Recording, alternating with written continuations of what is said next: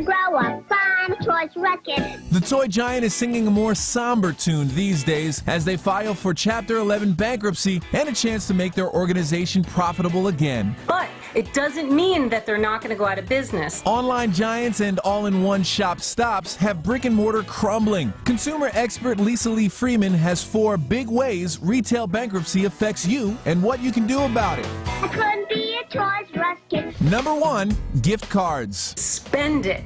Don't hold on to gift cards. Don't buy any new ones, even if they're tempting to buy because you find them at a discount online. Once bankruptcy is filed, companies don't necessarily have to honor the value of the card. They may become worthless plastic. Next, layaway. My advice is pay up that layaway bill. I wouldn't recommend pulling out of the deal because there probably is going to be a penalty. But just like gift cards, any value you've already put toward your items could be lost. If you can, pay it up fast. Next potential retail fail warranties. If you've got a warranty purchased through a retailer, look in the fine print and see if it will be honored if the retailer goes out of business. If yours is issued by a third party, you should be okay. But Lisa Lee says warranties are generally not worth it at all. Studies have shown that odds are you're not going to use the warranty, and even if you do, the costs of the repair are probably not going to be much more than what you pay for a, a policy. But if you still want some retail reassurance, Many credit cards now offer extended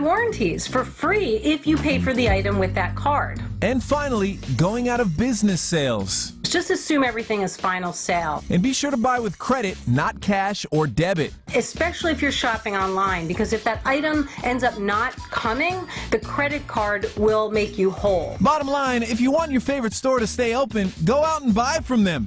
Bail for retail fail on the lowdown.